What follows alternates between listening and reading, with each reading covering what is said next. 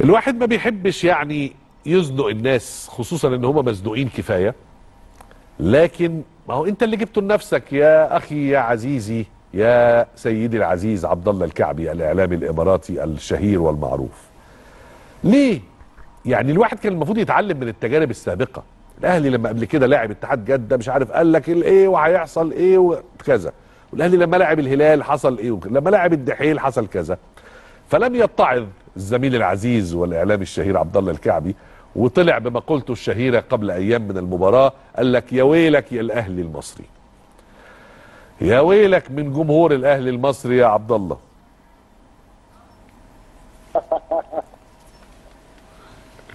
مساء الورد. وعليكم السلام. مساء الورد. أنا أنا طبعا في البداية طبعا أنا أشكرك على الكلام الطيب تجاه طبعا آه، سيدي رئيس الدولة دولة الإمارات العربية المتحدة وانت عارف طبعا علاقة الإمارات بمصر علاقة قديمة صحيح. منذ سنوات طويله طبعا نعم آه، دوله الامارات طبعا عندها قوانين عندها امور عندها لوائح عندها تعرف انت الأمور طبعا تخص آه، كل آه، دوله نعم آه، طبعا نبارك في البدايه لاداره النادي الاهلي المصري نبارك لجمهور آه، فريق الاهلي المصري وعشاقه ومحبيه ولاعبيه واساطيره الله يبارك فيك. آه، طبعا بهذا الفوز الكبير العريض.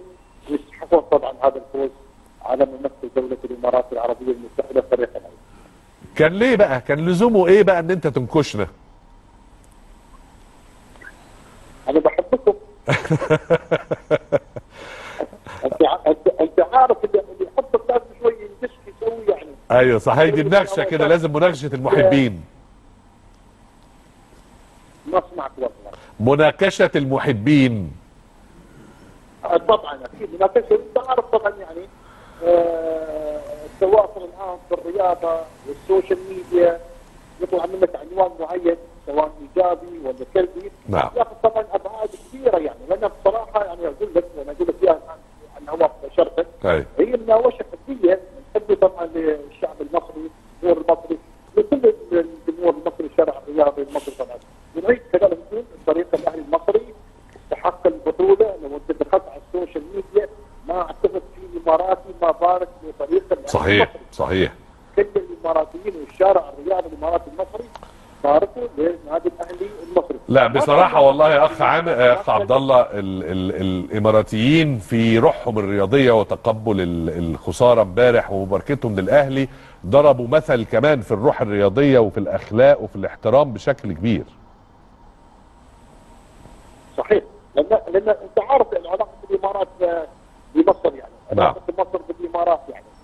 فوز مستحق فوز عريض وممكن يكون الرقم كان أكثر من هذا السكور وأنت عارف يعني طبعا إن خالد عيشه حارس نادي الرين كان نجم المباراة بالأمس يعني. ولكن يعني الحمد لله على كل حال آه، كولر آه، درس فريق العين آه، درس يعني الأمور التكتيكيه أو نعم. حتى سلبيات فريق العين. وتفوق طبعا على السيد كريسمو مدرب فريق العين. طيب سؤالي ليك بقى بمنتهى الأمانة بعيدا عن المناكشة والمشاكسة. اللي مطلوبة وموجودة طول الوقت في الإعلام الرياضي ما بين الفرق وما بين المنتخبات. هل فعلا قبل المباراة كنت متخيل إنه يا ويل الأهلي أو إن العين قد يفترس الأهلي هنا في استاد القاهرة بين ملعبه وجمهوره؟ طب الصراحه أنت؟ أيوه. صراحة أعطيك إياها. على بلاطه بالصراحة. أنا أنا توقعت الوص... ال- ال- فريق العين يفوز. يا رجل. والله العظيم. أقول لك ليش؟ ليش؟ أنا أقول لك شو, شو الاسباب توقعت فريق العين يفوز. اتفضل شوف فريق العين محليا مش زينين سيئين. اسيويا شوفوا شوفوا في شكل مختلف. أيوه. اسيويا فريق العين مرعب نعم محليا لا أنا كيف بس فريق ال- ال- الاهلي المصري مم. قلت على مباريات السوبر الافريقي وكذلك السوبر ال- ال- ال- المحلي المصري آه عطيه الله ما عطيه الله اللاعب المغربي ما قدم اوراق اعتمادا يمكن في اول مباراه على طبعا دخل وانسجم مع فريق آه، نادي الاهلي ومكسب كبير طبعا لفريق النادي الاهلي أيوه اشرف بن داري آه، طبعا آه، مصاب أنا قلت يمكن الكتفه تكون طبعا آه، لفريق آه، العين وطبعا مش استنقاص من فريق الاهلي المصري لا لا أنا توقعاتي أقول يعني ممكن العين يفوز بوجود سفيان رقيمي بوجود دابا بوجود آه، الثلث الامامي القوي لفريق العين لاسيوس اسماء عرف بند الاحمر ولكن للاسف يعني ضاع فريق العين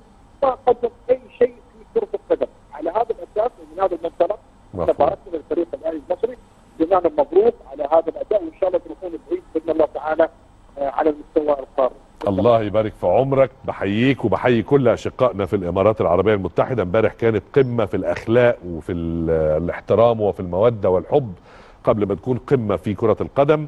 وإن شاء الله دايما الخير والمودة تجمعنا. بحييك يا آه، أستاذ عبد الله الكعبي وأنت لك من الاحترام والحب وأنت إعلامي كبير وشهير. وهنقبل مناقشتك ومشاكستك آه، بدليل المحبة والصداقة. شكرا جزيلا ونلتقي على خير دايما في المحافل والمناسبات الرياضية ما بين الإمارات ومصر. أستاذ تامر نعم. دايما العين بالعين والسن بالسن والاهلي أقوى. الحمد لله. الحمد, الحمد لله رب لله. العالمين وألف ألف مبروك. الله يبارك فيكي بجد ليلة حلوة و... والحقيقة إنه رغم إن الفرحة كبيرة و... ومستحقه بس الحقيقة كمان إن ده مش غريب. يعني أنا ما كانش عندي أدنى شك رغم اهتزاز مستوى الأهلي في الفترة الأخيرة ما بين مباراة مش قوي في السوبر الافريقي ومباراة أحسن شوية في السوبر المحلي ومع ترقبنا لقوة العين والكلام بتاع اقتحامات وغزوات العين اللي بيعملها في آسيا مع الفرق الكبرى لكن ما كانش عندي أدنى شك إنه الأهلي أول ما بيتحط في الامتحان بتظهر معادن الأهلي الحقيقية. والشواهد قبل كده كتير ومش عايزين نزعل يعني فرق تانية لا إحنا مش سيرتها هنزعل. دلوقتي. بس عايزين نسال على حاجة. الكام سنة الأخيرة الفرق عموما العربية تحس كده إنها لما تيجي تقابل الاهلي كتحضير بتستسهل وتحس إنه من كلامهم وطبعا الفلفل والشطة بين الجمهور الحلو ده بيبقى عالي قوي قوي قوي وإن إحنا مقابلة الأهلي دي سهلة بالنسبة لهم. وكل مرة الأهلي يبقى بالمرصاد. الحمد لله. العين لما جه امبارح هنا القاهرة وشرفنا ونورنا استسهل. مقابلة الأهلي؟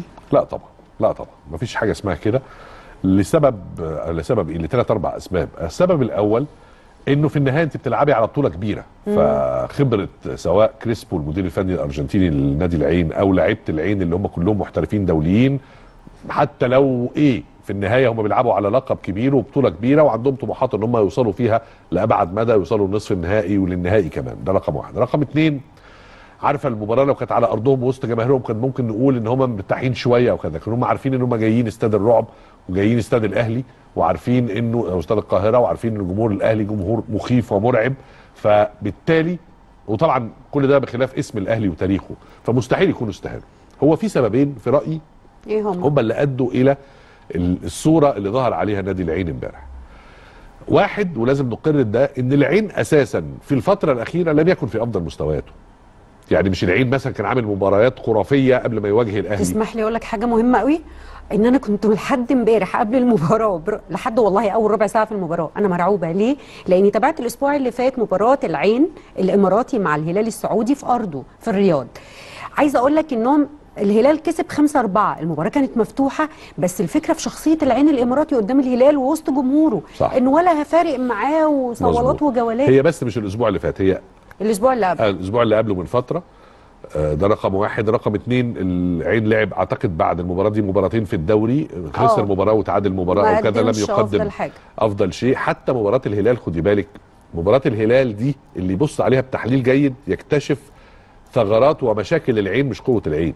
يعني آه صحيح هم عندهم القدرة على التهديف وخط الهجومي هو معروف لكن. مشاكلهم الدفاعية آه، فظيعة. وأنا قلت لك الكلام ده الفكر لو تفتكر الأسبوع اللي فات. ويبدو إن كولر سمع الكلمتين بتوع العبد الفقير إلى الله الأسبوع اللي فات لما قلت لك عايزة تكسبي العين ما تطلعهمش بالكورة. وده اللي حصل امبارح. الأهلي رجع لعادته المحترمة وهي فكرة الضغط على الخصم لدرجة إن العين فقد الميزة الأساسية بتاعته في إنه طلوعه السلس بالكورة. مرتين ثلاثة اللي نفع يطلع بيهم في الكورة هو اللي شكل فيهم خطورة على الأهلي. غير كده كان الأهلي يجهض الهجمات من الأول وعمل دربكة ولعيبه العين في الدفاع زي ما أنا قلت لك عندهم مشاكل كتير. تامر كولر عمل امبارح حاجة غريبة قوي أنا أول مرة بشوفها منه في يعني كولر معروف بالضغط والكره الهجومية. بس الفكرة إنه امبارح كان بيضغط. أنت هتبني الهجمة من تحت أنا موقف لك خط دفاعي يضغط عليك. مش هتعرف تطلع بيها. طب كرة طويلة بقى من حارس المرمى. تحس نص الملعب كله أهلي. حتى لو نزلت هتنزل عند الأهلي برضو يعني كرة طويلة تبني الهجمة من تحت أنا ضاغط ضاغط عليك. ما هي دي هي محتاجة بس شجاعة رقم واحد ولياقة بدنية.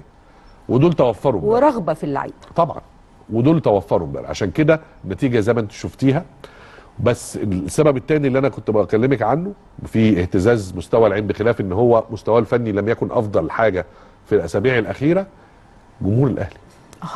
هذا ده على فكرة ده مش كلامي يعني مش مش إحنا مثلا بنحاول نعظم في جمهور الأهلي لا ونقول قد إيه هو تأثيره. نفسه. لا ده كريسبو امبارح في المؤتمر الصحفي كريسبو المدير الفني في المؤتمر الصحفي اللي بعد المباراة أول كلمة قالها قال لك أنا لعب لعبتي ما عرفتش تلعب.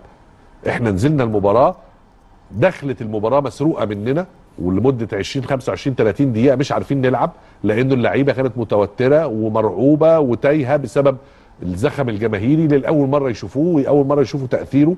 وأنا حتى كمدير فني كان عندي مشاكل في استيعاب الأمر في البداية. فده باعتراف المنافس أهو.